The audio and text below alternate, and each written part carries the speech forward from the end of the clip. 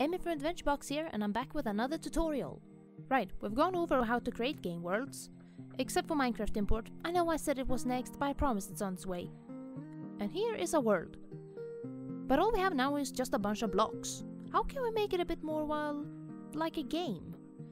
Well, a good place to start would be to figure out how to edit a world, which brings us to today's topic, a basic overview of our maker.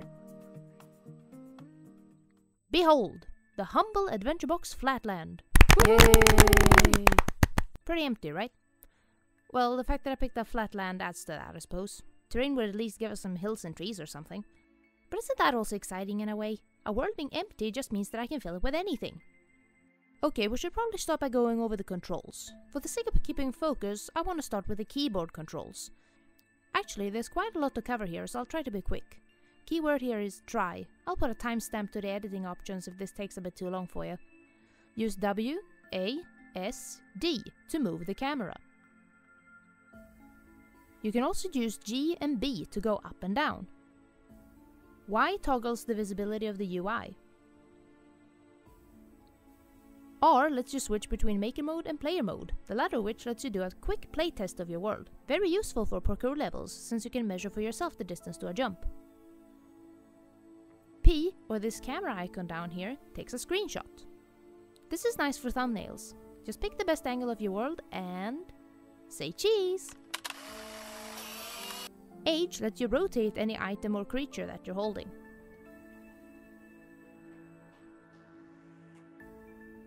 V toggles the quest view.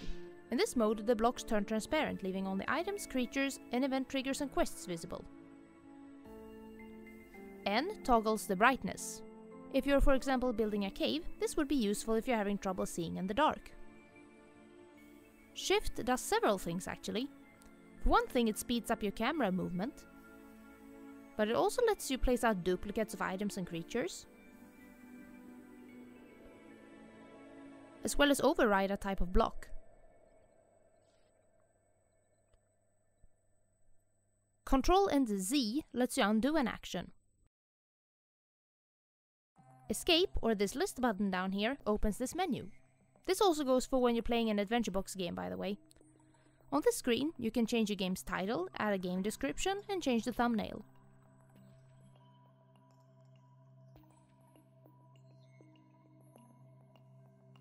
Oh, while we're on this menu, let's talk about these headings here. Just like the thumbnail menu I talked about in making a game world, Game Page will take you to a game's game page and let you do a full playtest of your game. Options takes you to the options menu. Duh.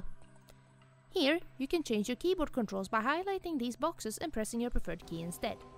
You can also adjust your mouse sensitivity, draw distance, resolution, and field of view. As well as turn on and off fancy effects and client-side storage. You can also check your performance here. Huh? What's performance, you say? Well, I think I'll save that for another video. It's uh, a bit of a mouthful. Let's move on to the mouse controls. Hold down the right mouse button to rotate the camera. Be careful when you do this, it's easy to get dizzy if it's too fast. Right-clicking anything will bring up a circular menu.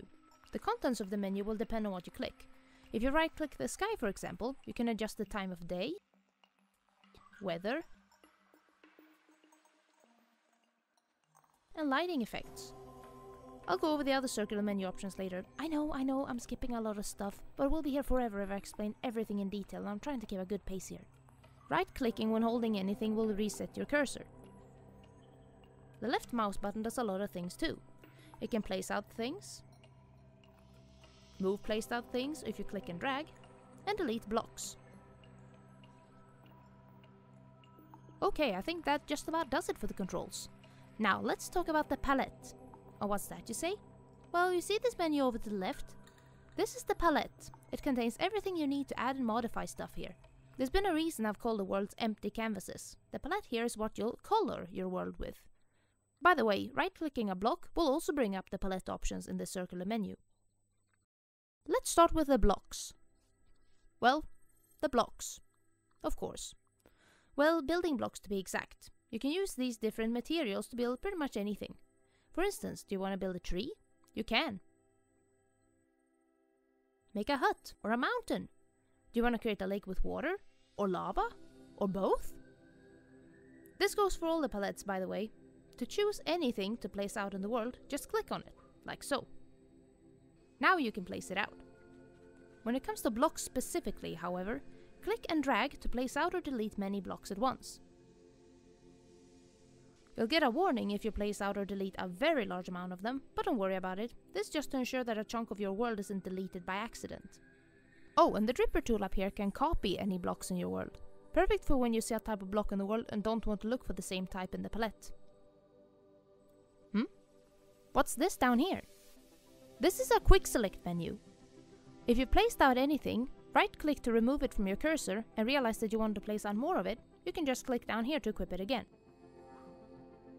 Five different quick select options will be here at a time, and they will be replaced when you keep selecting materials for your world. Just keep that in mind. Let's move on to structures. These are houses, trees, hills, etc. They're pre-made buildings made of blocks, so these are perfect if you don't want to build your own buildings. And since they're made of blocks, if you want to modify them, go right ahead. I personally prefer red houses myself, though that may be because I'm Swedish. Red houses are a staple here for some reason. Down here are items. There are buttons to press, cakes to eat, and doors to open. Oh my! And they're not just for decoration. They can also be affected by event triggers and be part of quests. And what are those? I'll tell you in another video. Be a bit careful with these though. Items aren't loaded into the world in the same way that blocks are, so too many items in a world will affect the performance. Right-clicking them will, aside from turning them into quest and event triggers, also give you the option to rename them, turn them invisible, rotate them, or delete them. Next, we have creatures.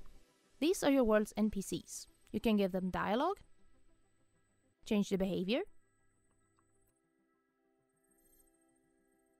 have them be parts of quests, or just have them fill up your world.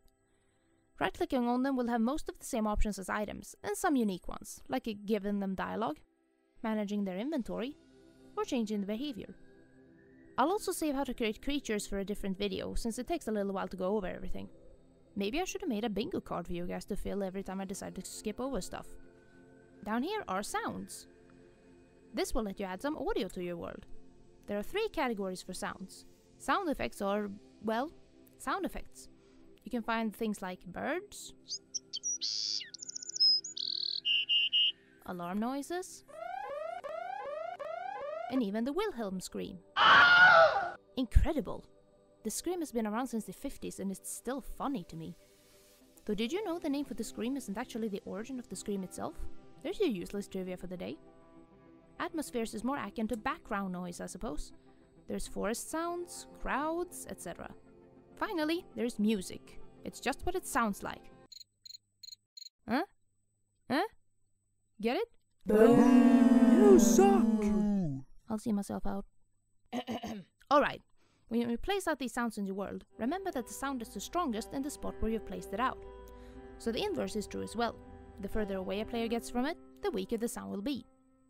The circular menu for sounds will let you toggle whether the sound should loop or not, turn on and off auto playing sounds, and adjust the volume of the sound.